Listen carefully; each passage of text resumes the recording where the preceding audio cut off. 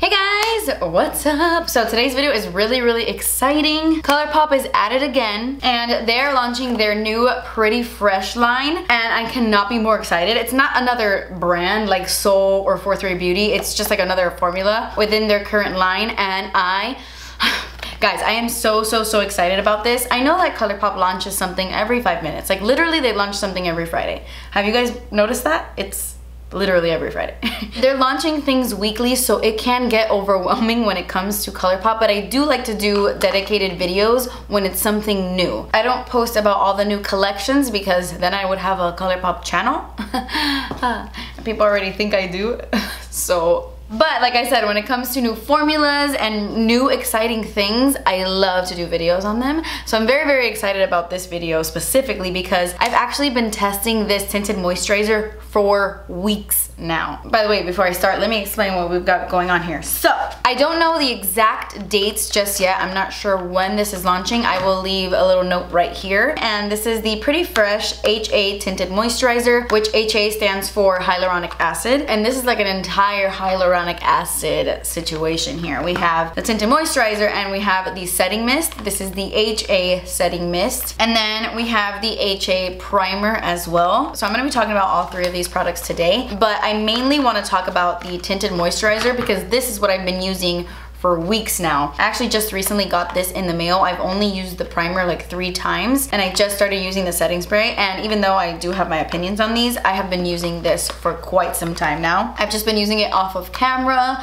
trying to be very sneaky, testing this behind the scenes, which is rare because ColourPop never sends me things ahead of time. I mean, I have a very good relationship with them, but I'm always just as surprised as you guys are when it comes to new collections. I never know things behind the scenes as much as people think I do. But they reached out to me a few weeks ago asking me if I would like to test something they were working on because it seemed very much up my alley and I was like, absolutely yes. So I've been testing it in this packaging for weeks. They didn't want to show me what it was gonna look like or anything, but honestly, I have completely fallen in love with this tinted moisturizer and I know what you're thinking. Oh, of course, of course. You're in love with a ColourPop item. No, no, no, no. I love this way more than the foundation stick. I love this way more than their other foundation. And I personally think it's amazing. I don't think it's for everybody. Like if you have oily skin, don't even try it. But for someone like me, this works wonders. Wait. Let me show you the actual packaging. So this is what the box looks like. It's actually adorable. I love this peachy color. The main selling point about this tinted moisturizer is that it has hyaluronic acid and coconut water. And I'm not gonna lie, when they were first telling me about the ingredients and what was in it, I got nervous because coconut oil breaks me out. Like it clogs my pores. I don't get really bad pimples or anything, but my skin becomes extremely textured. But I find that coconut water doesn't really irritate my skin. The Too Faced primer, I believe has coconut water and I use it, it's fine. And like I said, I've been using this for over a month now and I haven't noticed any breakouts. And I know that was a huge concern for a lot of people when they first found out about this. And like, oh my gosh, there's coconut in it. Will it irritate my skin?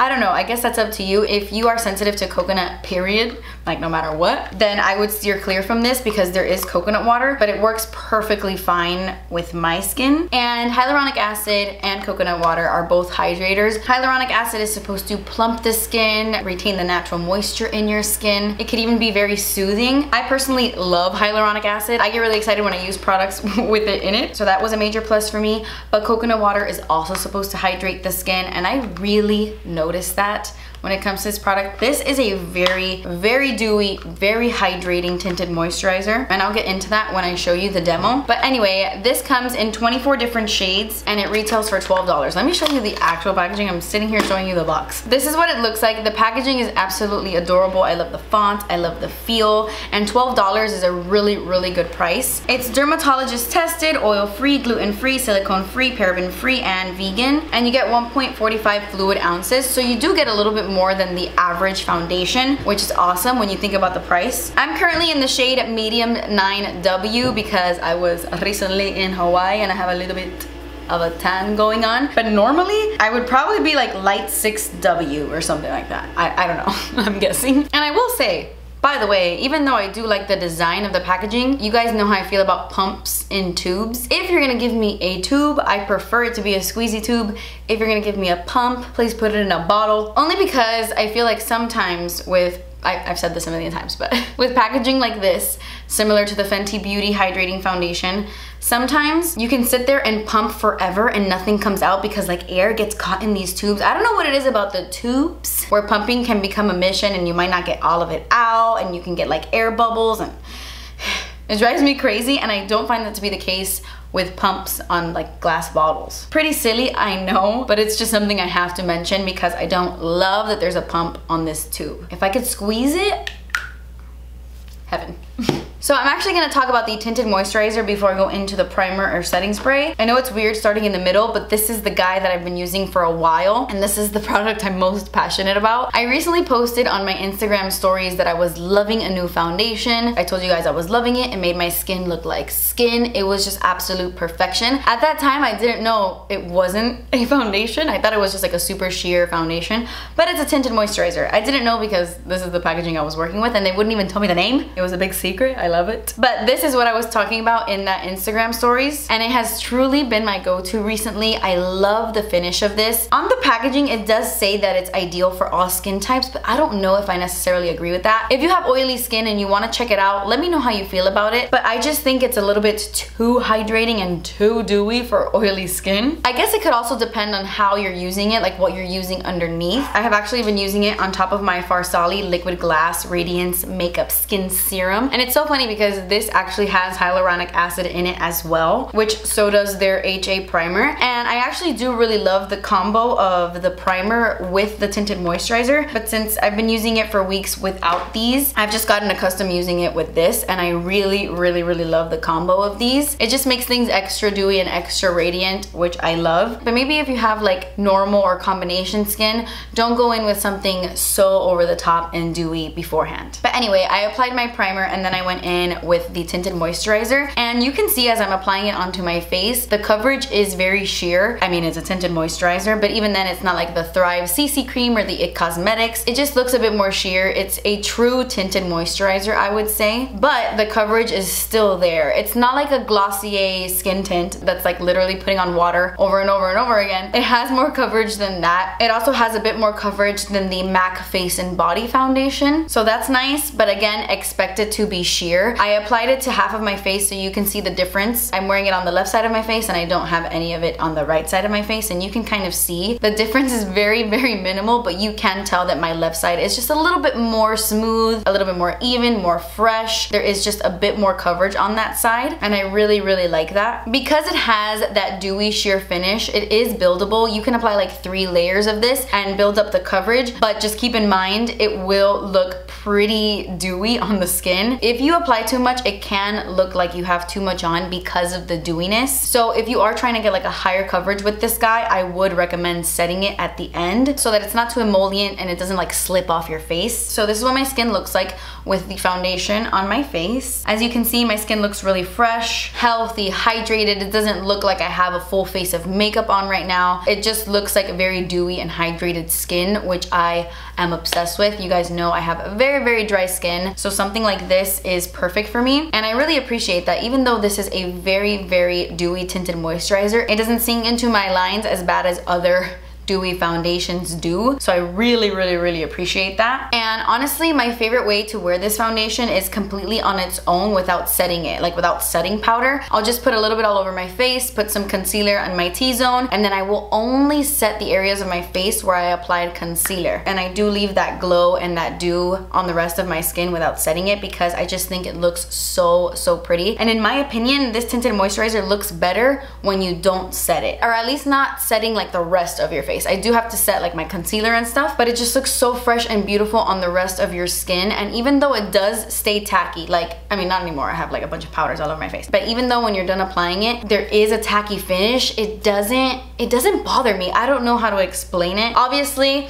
if you're hugging somebody with a white shirt and you didn't set your foundation, it's gonna come off it's gonna come off on their shirt. But as long as I'm not messing with my face, I really love how it looks completely on its own. In my Instagram stories where I showed you my skin, I didn't have a filter on or anything and I didn't set it. And I just love how it looks throughout the day when I don't set it. I rarely do the whole full glam look when I wear this tinted moisturizer. I mainly use this guy for an everyday kind of vibe. Today I went full glam. I'm actually wearing the So Jaded palette on my eyes today, by the way, in case you're wondering. I'm wearing ametrine all over my lid, and then I have stones like on my lower lash line, and that's that's it. And then I have diamond as my brow bone highlight, just in case you were wondering.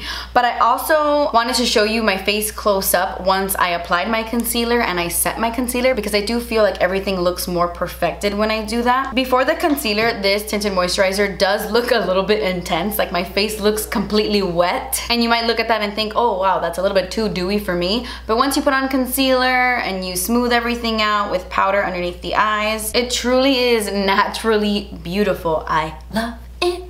Also, since I like to wear this tinted moisturizer mainly without setting it, I thought at first it was gonna make my bronzer skip or it was gonna make my blush apply patchy because sometimes when you try to blend bronzer on top of a really dewy base, it'll stick to that wet item and then it'll be really hard to blend out. You might get some muddiness. It just won't give you a smooth application the way a more satin matte foundation will. But I actually wanted to show you guys, I did film myself applying my bronzer, blush, and highlight just so you can see how it applies. I personally don't find that my bronzer skips. Even though it is a dewy foundation, it doesn't get stuck to my face. My bronzer applies pretty smoothly if you ask me. I'm really just impressed by the way that powders apply on top of this. My blush went on perfectly fine.